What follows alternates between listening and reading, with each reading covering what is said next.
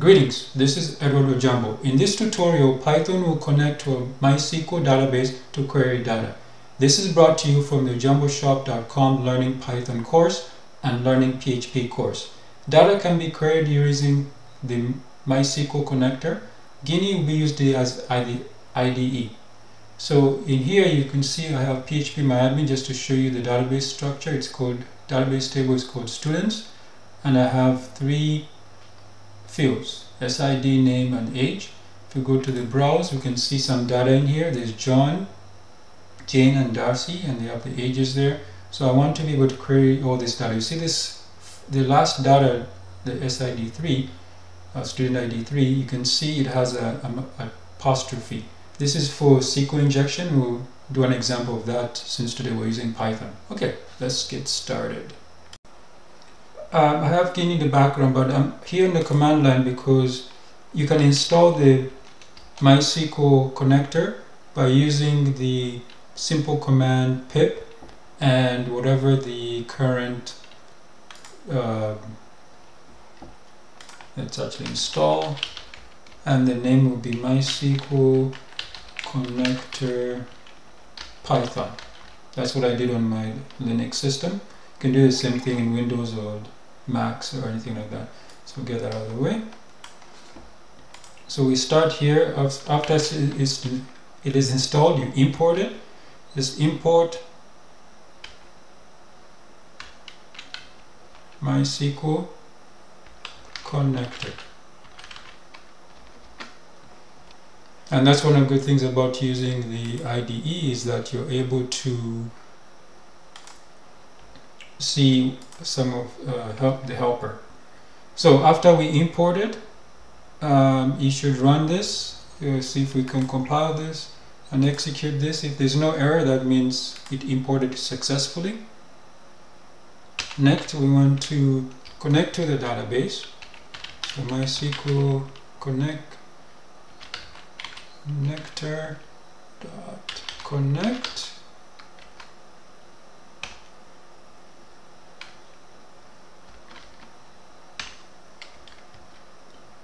the host. In my case the host is localhost because I'm locally.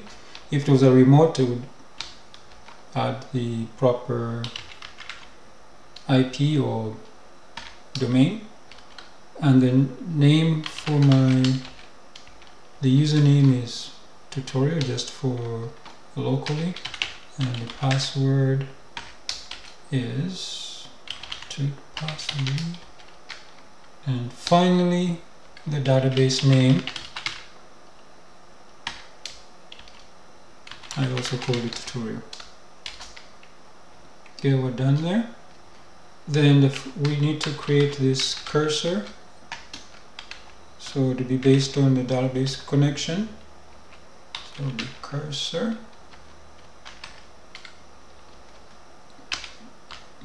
Cursor execute.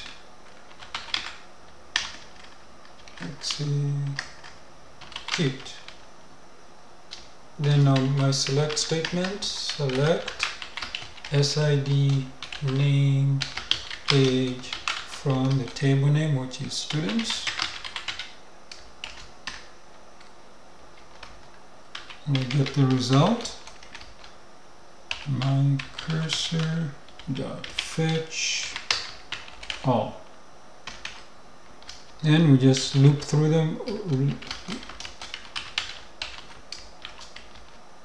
Just print. Make sure there's no problem here. And then we will excuse you see? All the results are here. John Jane Darcy and their ages and the SIDs now if I only wanted to get one of those uh, one of the uh, specific one. So for example this will stay the same. And let's say I wanted to get Darcy. So I would say where name equals uh, maybe it was D R uh, Darcy. Yeah there we go. See the problem here is because um, I'm already using double quotes. And I can't use double quotes I have to escape it However, there's a better way. So for example, if you say, oh, just use single quotes, okay? Single quotes, but Darcy also has a single quote there. So a better way would be to escape them. So what I will do is I will use, uh, this is actually one good thing about Python. It has this feature built in. You don't need to escape them yourself, like in other programming languages, or some other programming languages. So you can simply have Darcy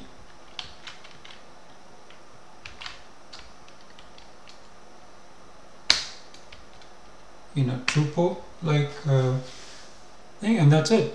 And this will escape it. So you, you can imagine uh, um, if I had a separate variable for Darcy or if this was data coming in from an input usually from a form or like a website or even an application. So this way this forces it to be a string. So obviously the name Darcy is a string. If it was something else you would do the same thing like integer and others.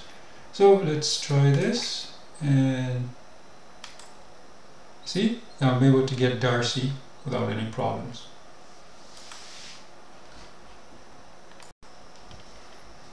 So this is the same results as before the three results.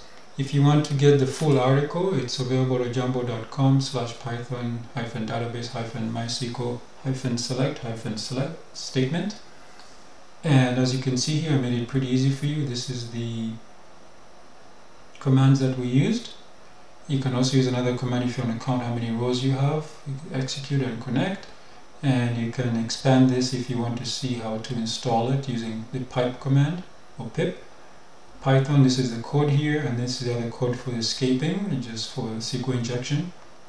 This is the PHP myadmin, the structure, the data, and this is the Geany IDE, this is the result just like today. And this is the video you're watching. And of course if uh, this is the end of the this is an advanced version of Python I'm teaching you. So if you want to learn basic Python get your beginner course.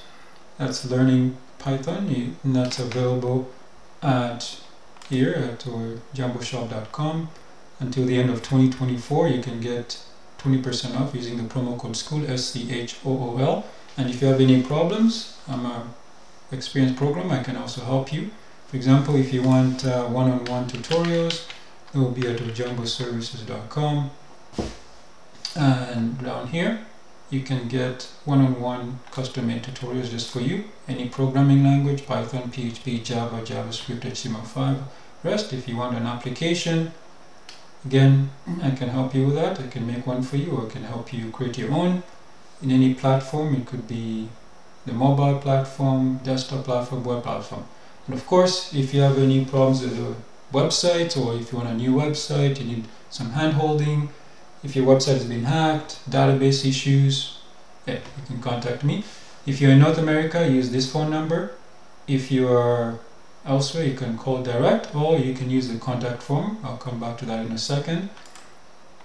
So if you also want to learn PHP instead you go to ojamboshop.com slash learning hyphen PHP same thing you can get 50% uh, 20% off sorry uh, until the end of 2024 using the promo code school S-C-H-O-O-L and or if you prefer to learn a different way you can also go to you can get the courses uh, just the books without the because the courses come with an IDE they come with a compiler come with Python or PHP built-in in your web browser.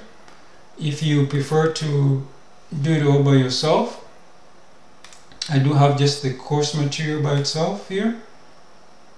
You can you, you, you can do it on yourself, install your own Python and have your own IDE or if you want to use the command, that's fine. So learning Python, it's available on Amazon. If you have a Kindle Unlimited, looks like it's going to be free for a while. Uh, you should take an opportunity to take advantage of this. And of course, if you want PHP, it's available on Amazon as well.